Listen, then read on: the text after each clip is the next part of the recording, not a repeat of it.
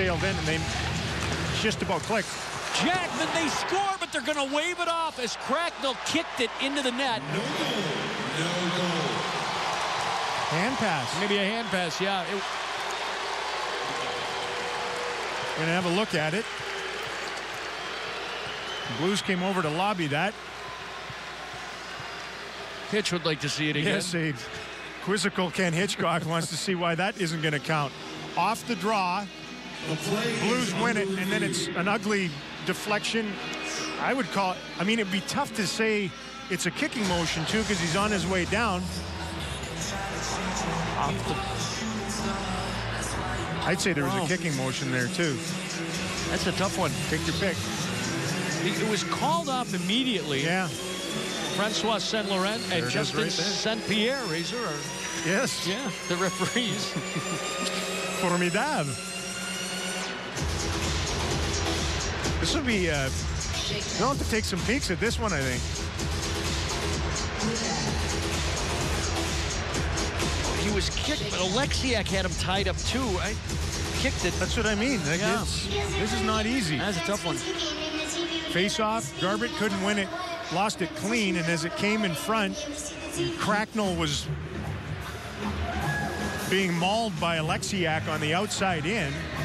It went off his skate and in. You can deflect the puck into the net. You can't use the distinct kicking motion to boot it in. But it looked like the referee was gesturing that there was Yeah. that there was a hand pass in there, that it went in off his hand. Well, it didn't go in off his hand. Here, let's listen. We'll learn something. or not. Well, it's no goal. We've got pantomime. I'd, rather the mic worked for this explanation. Then two minutes for hooking.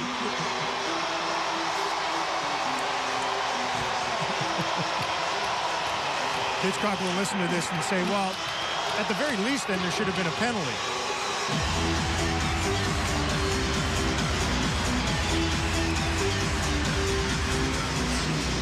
Gulutzan, Gulutzan watching, another peek at it.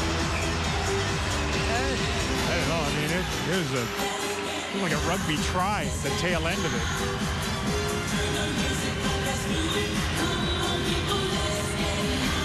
Well, the league sends out text messages as to what the actual defining decision was, because we couldn't hear it in the building, so hopefully we'll get that and pass it along. Okay. So it remains 2-1 Dallas with under 11 to play in the third.